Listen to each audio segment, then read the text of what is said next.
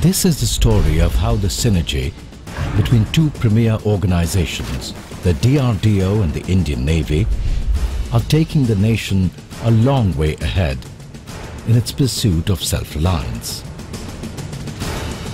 Warships are huge and expensive offensive war machines, which are also the most sought-after targets of enemy attacks.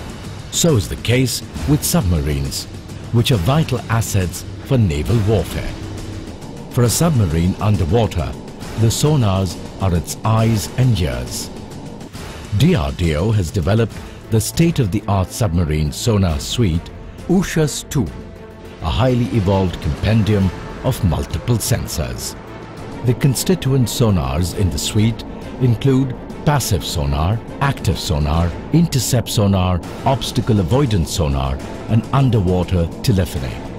The system provides advanced classification features, contact motion analysis and automatic torpedo detection capabilities. To detect enemy submarines, sonars are also installed on warships.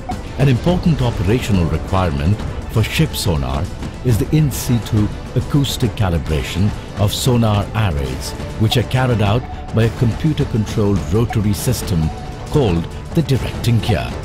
Developed by DRDO, this robust system is designed to withstand heavy shock loads and is capable of operation in high sea states.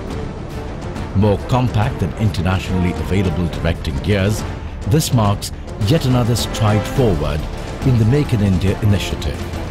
Incidentally, three directing gears have been exported to Myanmar and are in use in the Myanmar Navy.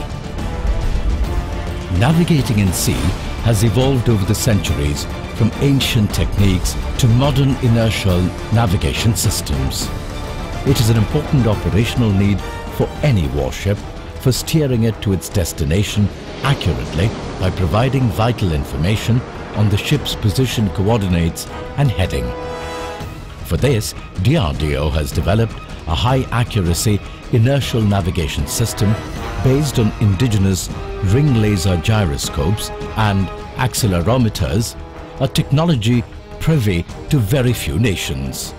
The system features high-speed processor, multi-constellation sat-nav receiver, ship-specific interfaces and innovative algorithms. After extensive evaluation, the system has entered into production and is operational on board Indian naval ships. This system will be installed in the complete naval fleet. At DRDO, we are proud of our Indian Navy, who guard our maritime borders. And we will continue our relentless efforts to give them the cutting edge. Jai Hind.